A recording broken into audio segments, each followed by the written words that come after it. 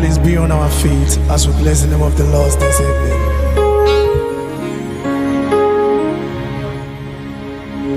I love you, Lord,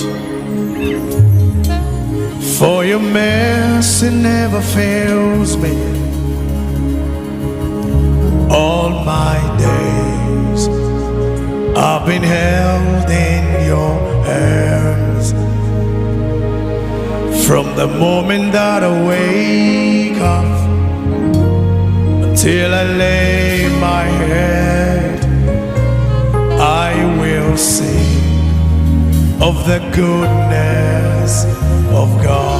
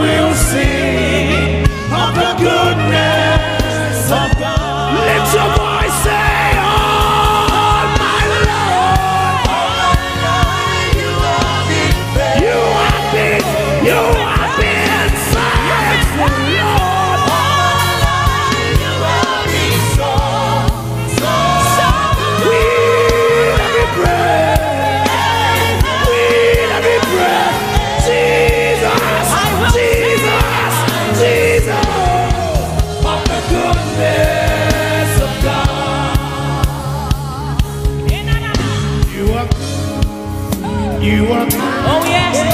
You are more than these.